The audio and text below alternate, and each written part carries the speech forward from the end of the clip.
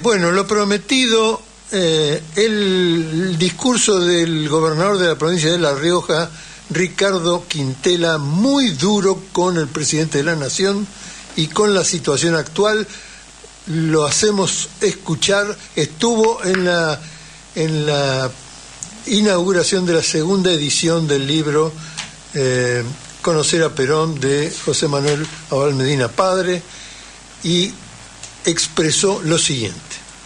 Vengo de, compartir unas reuniones con algunos 50 compañeras y compañeros peronistas, diputados nacionales, diputados provinciales, gremialistas, y nos preguntábamos qué haría Perón en estas circunstancias que estamos viviendo en estos momentos. Y la verdad que hablábamos con estos compañeros y compañeras, planteaba dos cosas. Una era que el peronismo es invencible. Cuando se levanta, se pone de pie y marcha hacia el objetivo, que es recuperar el poder recuperar el poder para tratar en lo posible de transformar la vida de nuestra gente, mejorar la calidad de vida de nuestros ciudadanos.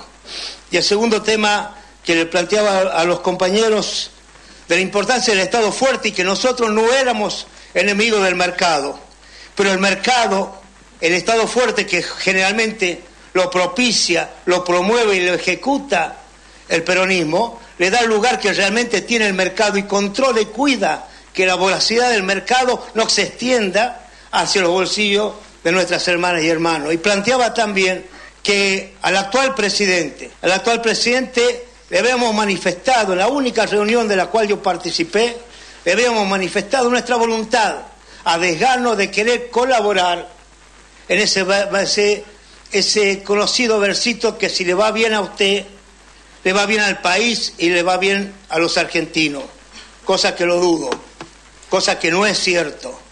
Y en ese día, ese día le había planteado, pero ¿cómo piensa usted, presidente, que le puede ir bien al país cuando devaluó 118% la moneda?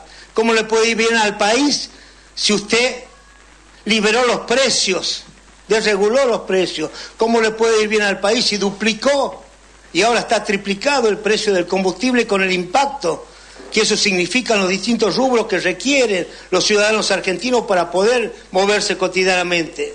¿Cómo cree usted que le puede ir bien al país si paralizó por completo la obra pública, con las consecuencias que tiene eso en el desempleo de nuestras hermanas y hermanos?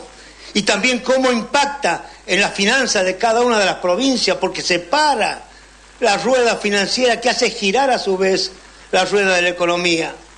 Y además de eso congela los salarios. ¿Qué puede salir de este combo si no es una fuerte conmoción social en la República Argentina?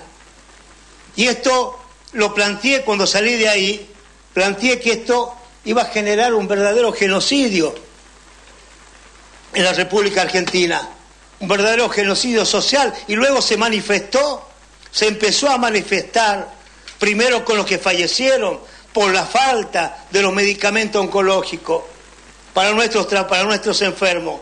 Cosas que el gobierno justicialista, con dificultades, con problemas, que estábamos, que estábamos mal, pero asistíamos a cada uno de los compañeros, a cada uno de los ciudadanos con el medicamento que le faltaba.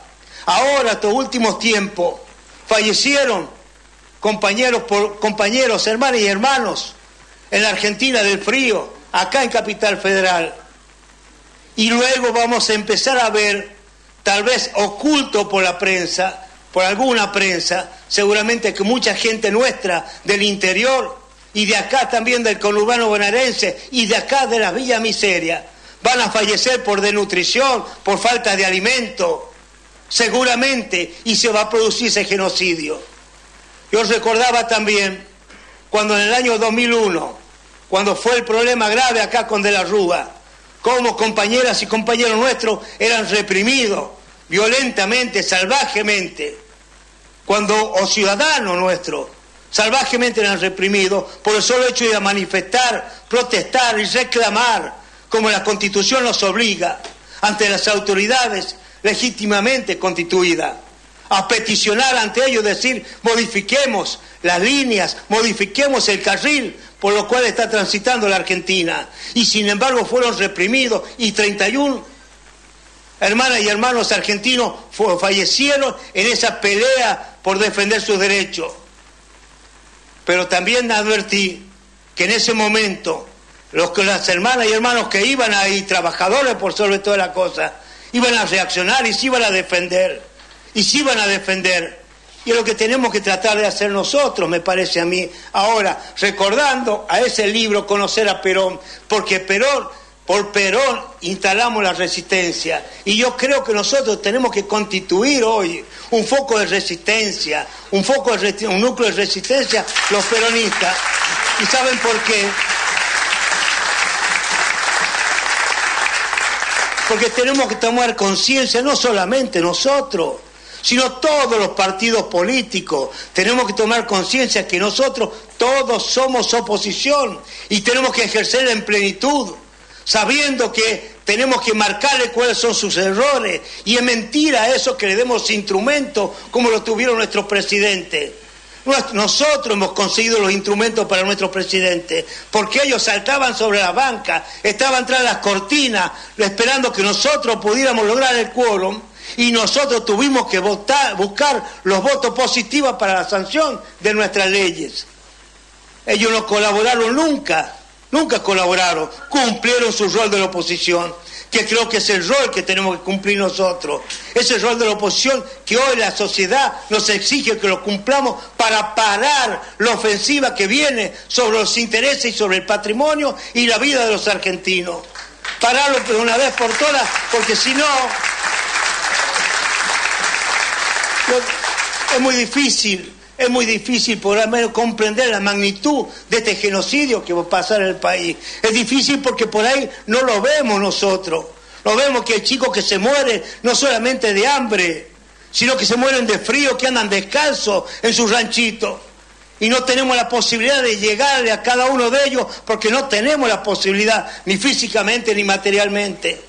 Y tenemos un gobierno insensible que se jacta, se vanagloria de dejar cinco mil compañeros cesantes, vidas arruinadas, familias arruinadas, sin saber qué hacer el día de mañana, el día mañana pasado, sin saber cómo cumplir con sus compromisos que han contraído en función de un presupuesto que cada uno de ellos tenía.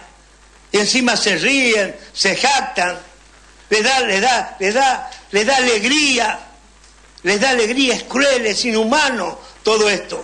Por eso es que yo vengo, vengo gustoso y escucho gustoso lo que hablas vos de la alegría que sentía el general Perón cuando compartía anécdotas y demás, pero también tengo la tristeza del general Perón cuando en el año 74 visitó un campo y veía la indignidad con la que vivían los peones y decía voy a luchar por dignificar la vida de cada uno de ustedes.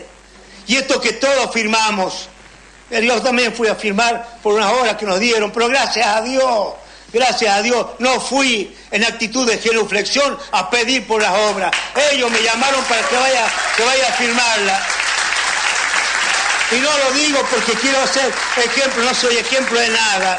Soy un tipo común y corriente, que tengo mis miserias humanas también y tengo mucho pecado, por lo tanto no soy ejemplo de nada. Pero sí, sí tengo que pararme frente a un hombre que no solamente no tiene experiencia, no tiene capacidad, no tiene capacidad, es cruel, es inhumano, es salvajemente cruel con las argentinas y los argentinos.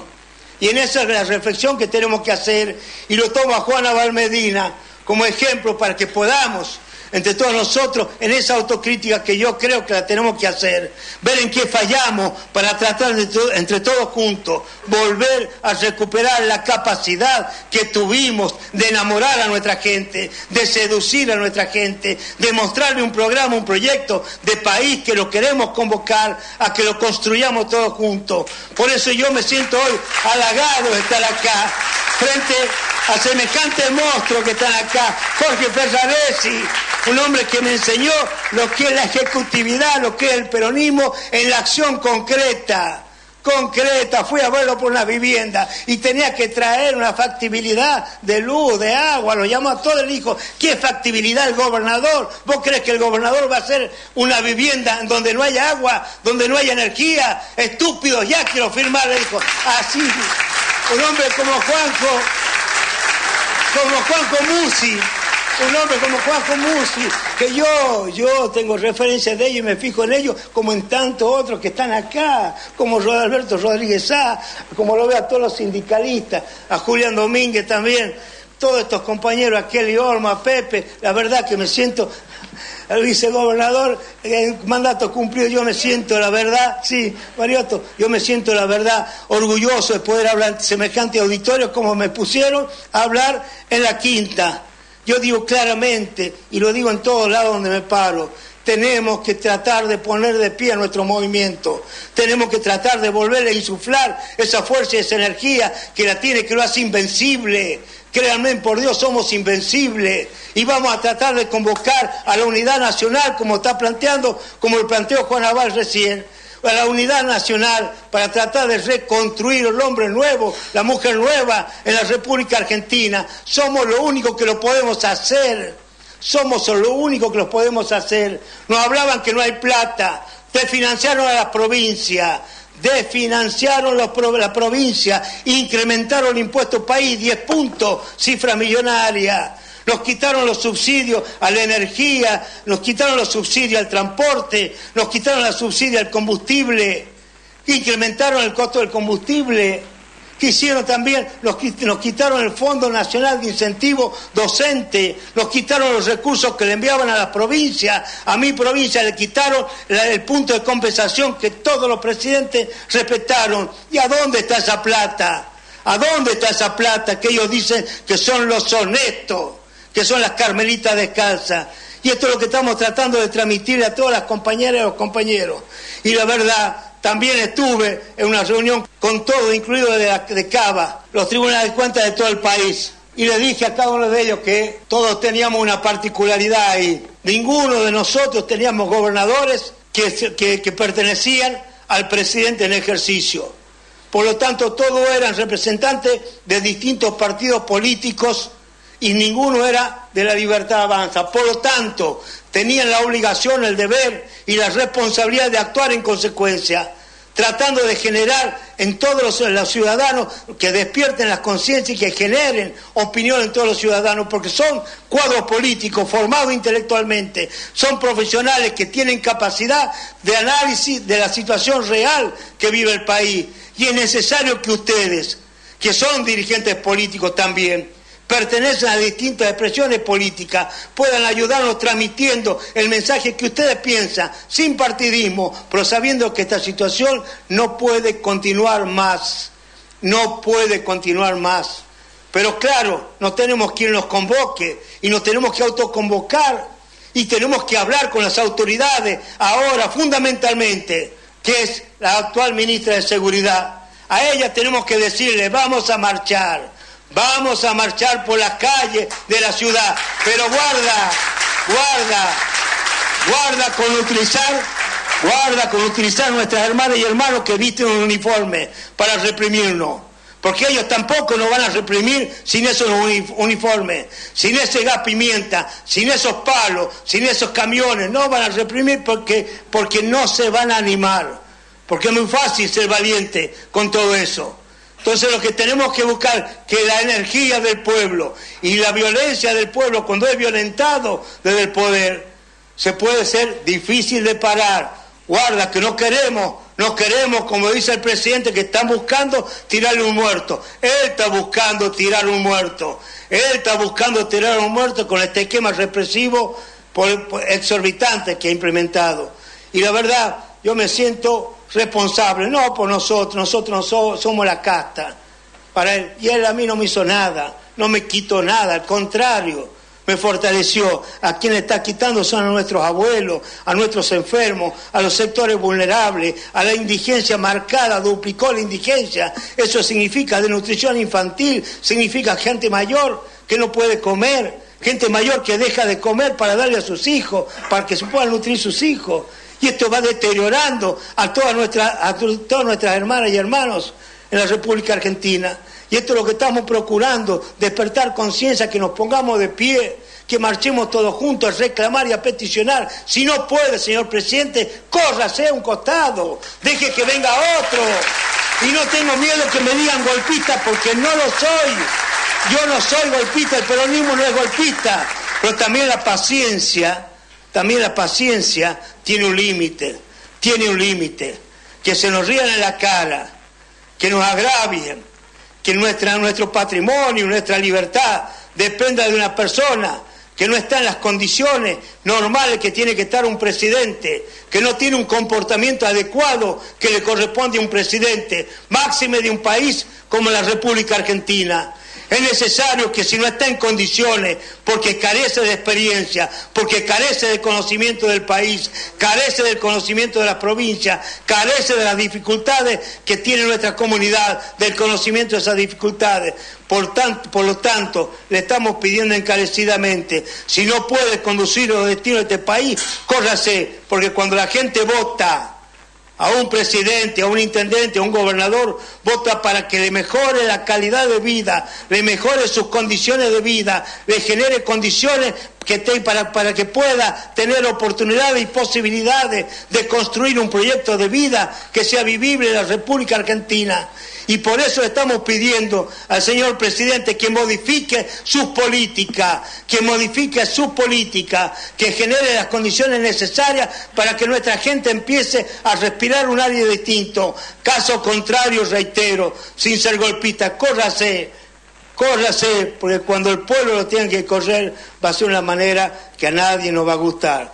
Pero la verdad que la indignación, la bronca, la bronca y la impotencia que me embarga a mí, como a muchos compañeros, la quería manifestar en este auditorio selecto que tenemos en estos momentos, para ver si nos podemos contagiar de energía, de fuerza, como para salir a luchar por lo que nos corresponde, que es la defensa de nuestros compañeros. Muchas gracias.